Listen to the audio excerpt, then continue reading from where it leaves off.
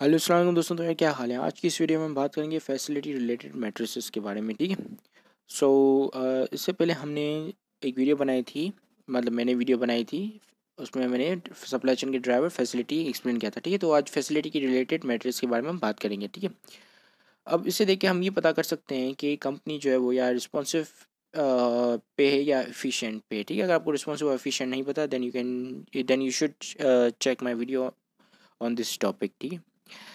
अब आ, और इस, इसके अलावा हम फैसिलिटीज़ के जो मैट्रिसेस हैं इस मैट्रिक्स को देख के देख देखते हुए हम ये ये अंदाज़ा लगाते हैं या ये हमें गेन होता है ये हमें आउटकम निकलती है इसकी मेज़रमेंट के बाद फैसिलिटीज़ के। अच्छा वैसे मैं आपको एक चीज़ बताऊँ फैसिलिटीज़ का मतलब होता है कि हर वो जगह जहाँ पे कंपनी जो है फिज़िकली अपना बिज़नेस कर रही होती है, ठीक है? जैसे फैक्ट्रीज शॉप्स वर्कशॉप्स या वेयर हाउसेस ठीक है? इस तरह की चीज़ें।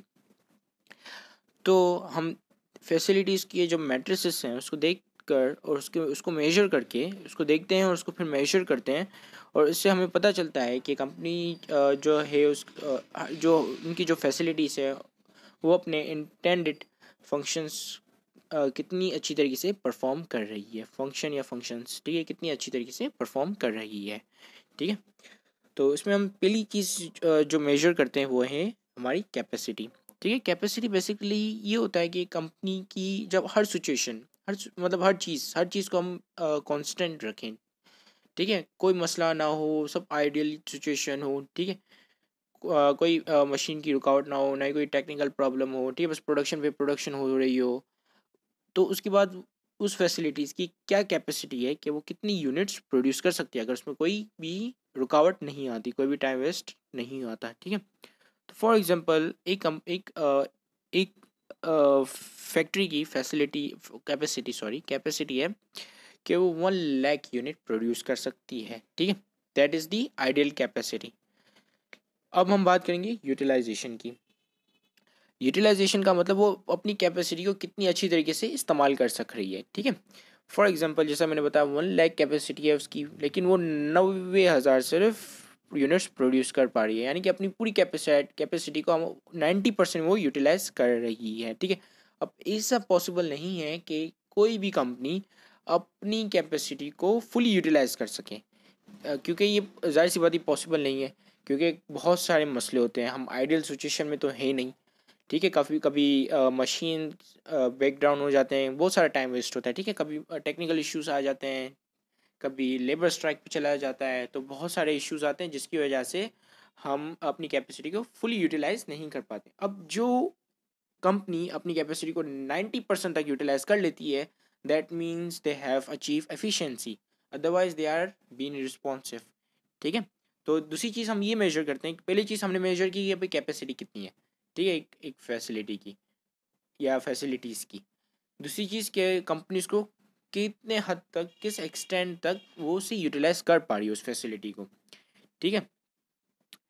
अब तीसरी चीज़ आती है हमारी processing setup down and idle time ठीक है? प्रोसेसिंग यानी कि जब एक प्रोडक्ट के ऊपर जो प्रोसेसिंग हो रही होती है, वो जो दूसरे दूसरे डिफरेंट डिफरेंट स्टेजेस से गुजर रहा होता है, ठीक है? तो उसके ऊपर कितना टाइम लगता है, ठीक है?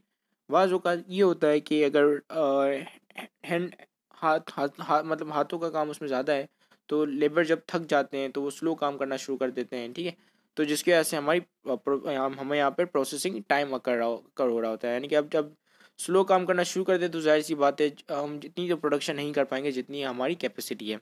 दूसरा सेटअप टाइम अब क्या होता है कि मशीन में जब एक चीज़ प्रोसेस हो जाती है तो फिर उस मशीन को हमने फिर से सेटअप करना पड़ता है। ठीक है फॉर एग्जांपल क्या एक मशीन है, वो शर्ट्स को जो है वो कलर करती है कलर करने का काम करती है। ठीक है रेड और ब्लू कलर करती है। अब उस मशीन में हमने जितनी ब्लू शर्ट जो निकालनी थी, हमने निकाल ली। ठीक है, फिर हमें उस मशीन को वॉश करना पड़ेगा, ताकि फिर हम उस पर रेड कलर डाल के फिर रेड शर्ट्स निकाल सकें। ठीक है तो अब जो वॉश करने का जो टाइम वेस्ट हो ना, क्योंकि इसी टाइम में हम हमारी जो है दूसरी प्रोडक्शन हो सकती थी, लेकिन हमने वो प्रोडक्शन को स्टॉप किया और वह मशीन को वॉश किया। तो उसको हम कहते हैं सेटअप टाइम यानी कि मशीन को सेटअप करने में जो टाइम वेस्ट हुआ, ठीक है? हम उसको मेजर करते हैं, फिर देखते हैं डाउन टाइम अब डाउन टाइम यहाँ पे दो तरह के होते हैं। एक होता है रिएक्टिव दूसरा होता है प्रोएक्टिव अब रिएक्टिव ये होता है कि आप बगैर प्लानिंग के आप मशीन को झाइलों की तरह चला रहे हो, ठीक है? और वो मशीन अचानक से ख़राब हो गई। उसमें टेक्निकल इश्यूज़ आ गए फिर आप टेक्नीशियन को बुलाओगे फिर वो जब तक सही करे तब तक आपकी मशीन रुकी हुई है और आपकी पूरी ओवरऑल प्रोडक्शन रुक गई है। अगर वो कनेक्टेड है आपकी प्रोडक्शन से ठीक है? बीच का कोई भी अगर हिस्सा मशीन का ख़राब हो गया है और फिर आपकी पूरी प्रोडक्शन रुक गई है सो so, इसका मतलब कि आपका टाइम वेस्ट हो रहा है ठीक है? दूसरा आइडले ठीक है? आइडली टाइम ये भी एक वेस्टेज होता है। इसमें क्या होता है कि आपके पास रॉ मटेरियल अवेलेबल नहीं होता है। जब रॉ मटेरियल अवेलेबल नहीं है तो आप क्या प्रोड्यूस करोगे ठीक है? या तो फिर जब मार्केट में डिमांड नहीं है तो फिर आप क्या प्रोड्यूस करोगे? क्यों या क्यों प्रोड्यूस करोगे? ठीक है? तो रॉ मटेरियल ना अवेलेबल होने की वजह से जो आपको प्रोडक्शन टाइम वेस्ट हो रहा होता है या रॉ मटेरियल के डिले की वजह से, यानी कि अब डिले आ रहा है, देर से आ रहा है, ठीक है? तो आपके दो तीन घंटे भी वेस्ट हो गए तो यानी कि आप अपनी कैपेसिटी पूरी पकड़ नहीं पा रहे हो, ठीक है? तो ये वजह होती है। अभी जो हम पढ़ रहे हैं क्यों हम utilization up to the capacity नहीं कर पाते, उसकी ये वजूहत हैं, ठीक है? अब हम बात करेंगे प्रोडक्शन कॉस्ट पर यूनिट अब इससे किस तरह हम मेजर करते हैं? अब यहाँ पर हम देखते हैं कि भाई एवरेज कॉस्ट क्या आ रही है एक एक यूनिट को प्रोड्यूस करने में। ठीक है? This cost may be measured per unit per case और per pound and depending on the product ठीक है? यहाँ पे हम ये चीज़ मेजर कर रहे होते हैं कि ए, हम, हमारी क्या कॉस्ट इनकर हो रही है एक यूनिट को प्रोड्यूस करने में। ठीक है? अब काफ़ी यूनिट को प्रोड्यूस करने में अलग अलग कॉस्ट इनकर होती है और डिफरेंट डिफरेंट टाइम लगता है, ठीक है? तो फिर हम ए बी सी वाला मेथड यूज़ करते हैं। इसका मतलब ये होता है एक्टिविटी बेस्ड कॉस्टिंग अब जिस प्रोडक्ट के ऊपर ज़्यादा एक्टिविटी इस्तेमाल हो रही है तो ज़ाहिर सी बात है उसके ऊपर ज़्यादा कॉस्ट इनकर होगी। तो फिर हम उसकी कॉस्ट अलग कैलकुलेट करते हैं, ठीक है? अलग मेजर करते हैं। दूसरा आता है हमारा मैट्रिक्स जो है क्वालिटी लॉसेस अब यहाँ पर भी हमें कॉस्ट आती है। कौन सी कॉस्ट आ रही होती है? कि जब हमारी क्वालिटी कंट्रोल डिपार्टमेंट है, वो जो प्रोडक्शन बन रहा होता है तो प्रोडक्शन जब वहाँ पर जो कोई डिफेक्ट आता है या तो उसी वक्त वो उसको प्रोडक्शन स्टॉप कर देता है और फिर वो मतलब उसको क्वालिटी मतलब उसकी क्वालिटी कंट्रोल कर रहा होता है, ठीक है? यानी कि अब फॉर एग्जांपल कोई एक प्रोडक्ट है, वो बनते वक्त उसमें कोई डिफ़ॉल्ट आ रहा है तो उसी वक्त प्रोडक्शन रोक देगा फिर वो रीवर्क में जाएगा वो वो प्रोडक्ट ठीक है? फिर जब उसके ऊपर रीवर्किंग होगी तो ज़ाहिर सी बात है रीवर्किंग का अलग से टाइम भी वेस्ट होगा और कॉस्ट भी इनकर होगी, ठीक है? और दूसरा आता है क्वालिटी एश्योरेंस अब जो फाइनल प्रोडक्ट बन जाता है। फिर उसके बाद उसमें कोई डिफेक्ट निकलता है तो फिर वो फिर से उसको, या तो फिर उसको स्क्रैप में फेंक दिया जाता है या तो फिर उसके ऊपर रीवर्किंग होती है। दोनों सूरतों में हमारे पास कॉस्ट इनकर हो रही होती है, ठीक है? और ज़ाहिर सी बात है, जब कॉस्ट इनकर होगी तो ये हमारी फाइनेंशियल परफॉर्मेंस को भी पीछे धकेलेगा और हमारी रिस्पॉन्सिव बिहेवियर को भी पीछे धकेलेगा, ठीक है? अब दूसरा हमारे पास थियोरेटिकल फ्लो साइकिल टाइम और actual average flow cycle time फिर और फ्लो टाइम इफ़िशेंसी ठीक है? अब ये फ्लो टाइम इस चीज़ पे फोकस कर रहा होता है कि कोई भी अगर हमारे पास आ, कोई भी अगर प्रॉब्लम नहीं होती है ठीक है? हमारे पास बिल्कुल एक आइडियल सिचुएशन है। तो और कोई भी डिलेज वगैरह नहीं होते हैं तो एक यूनिट को प्रोड्यूस करने में कितना टाइम लगेगा ठीक है?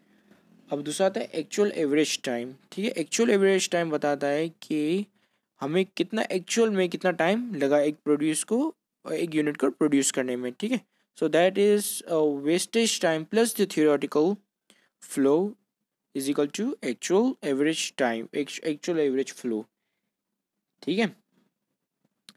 अब फ्लो टाइम एफिशिएंसी ये बता रही होती है कि जो हमारा थियोरेटिकल फ़्लो है और एक्चुअल फ़्लो है उसमें कितना डिफरेंट है। फॉर एग्जांपल एक यूनिट को प्रोड्यूस करने में हमें टू uh, आवर्स लगे इन एक्चुअल ठीक है? लेकिन वही यूनिट सेम यूनिट हम वन आवर में भी प्रोड्यूस कर सकते हैं।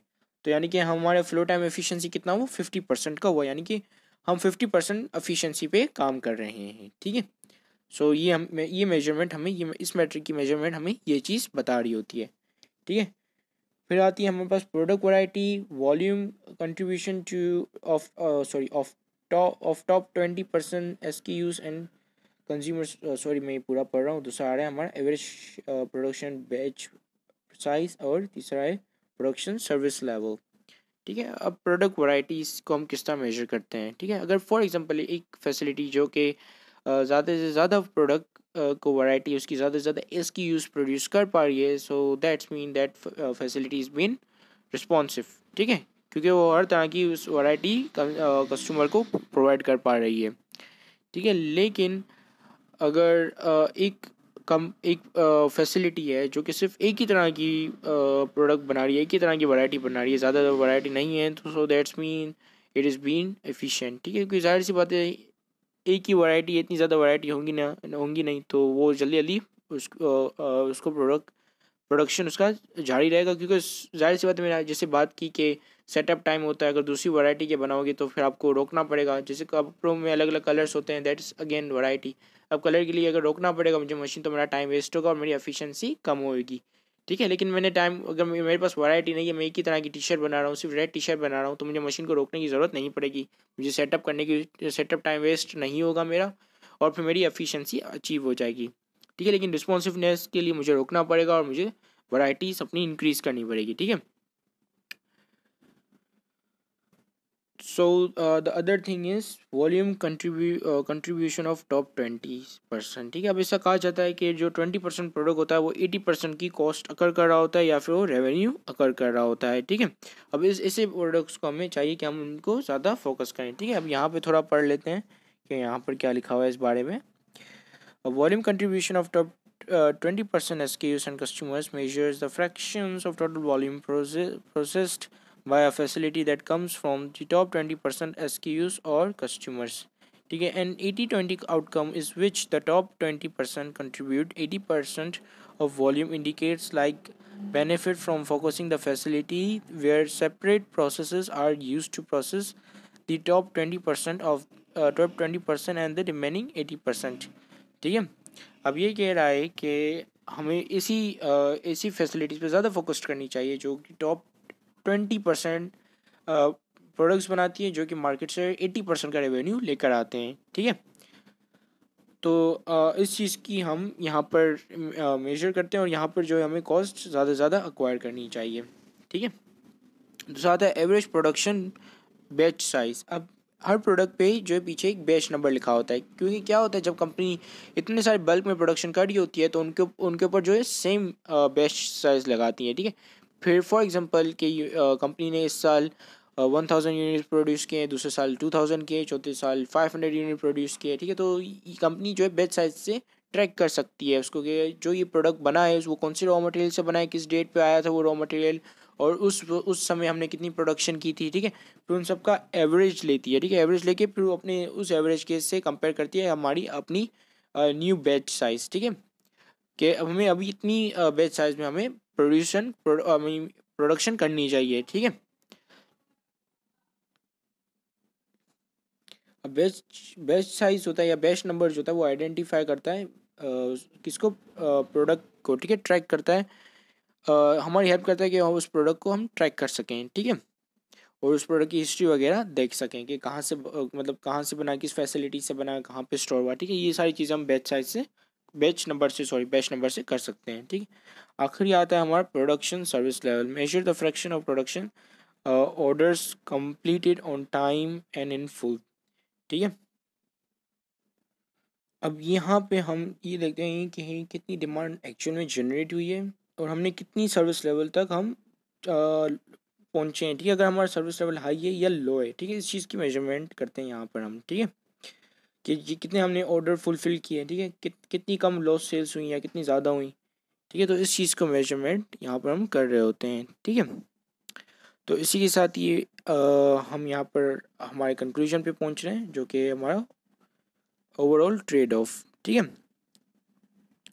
अगर यहाँ अगर हम आ, अपनी फैसिलिटीज़ बढ़ा दें बहुत ज़्यादा फैसिलिटीज़ लगा लें हर जगह पे फैसिलिटीज़ लगा लें तो क्या होगा कि हम ज़्यादा रिस्पॉन्सिव बन जाएँगे ठीक है? क्योंकि ज़ाहिर सी बात है, ज़्यादा से ज़्यादा कॉस्ट आएगी। और ज़्यादा से ज़्यादा, अगर ज़्यादा कॉस्ट आए that mean we are not been efficient और अगर फैसिलिटीज़ नज़दीक होंगी तो प्रोडक्ट की अवेलेबिलिटी भी आसान होगी। लेकिन इससे क्या होगा कि ट्रांसपोर्टेशन की हमें, यहाँ पे ज़्यादा, एक ट्रेड ऑफ़ ये है कि हमें ट्रांसपोर्टेशन की कॉस्ट जो है, वो कम से कम आएगी, ठीक है? क्योंकि एक फैसिलिटी हमारे पास इतनी सारी फैसिलिटीज़ हैं तो जो हर फैसिलिटीज़ जो डिफरेंट डिफरेंट एरिया की जो नीड है, वो सेटिस्फाई कर लेगी। जैसे फॉर एग्जांपल इस्लामाबाद में एक फैक्ट्री लगी हुई है। वहाँ से वो पूरा माल ट्रांसपोर्ट होकर यहाँ पर कराची में आता है ठीक है? अगर कराची में वो माल बनना शुरू हो जाए तो फिर उसको इस्लामाबाद से यहाँ से यहाँ से इस्लामाबाद से यहाँ तक की ट्रेवल नहीं करनी पड़ेगी उस ट्रक को ठीक है? So that may increases cost of uh, running the facilities but it can decrease the cost of transportation. So यहाँ पर एक ट्रेड ऑफ़ आ गया है ठीक है? अब दूसरा है कि इंक्रीज इन फ्लेक्सिबिलिटी क्योंकि ज़ाहिर सी बात है अगर आ, हम अपनी फ्लेक्सिबिलिटी जब इंक्रीज़ करते हैं कि ज़्यादा से ज़्यादा अगर हमने फैसिलिटीज़ बनाई तो हमारी ज़ाहिर से ज़ाहिर सी बात है हम लोग फ्लेक्सिबल हो जाएँगे ठीक है? लेकिन ये इन्वेंट्री कॉस्ट को आ, कम कर देता है क्योंकि हमारे पास अगर हम फ्लेक्सिबिलिटी उसी सूरत में अचीव कर सकते हैं जब हमारे पास इन्वेंट्री कम से कम हो ठीक है? अगर इन्वेंट्री ज़्यादा होगी so that mean we are incurring loss lot of inventory cost ठीक है? तो इसी के साथ ये वीडियो ख़त्म होती है। Thank you very much for watching this video and have a great day and अल्लाह हाफिज़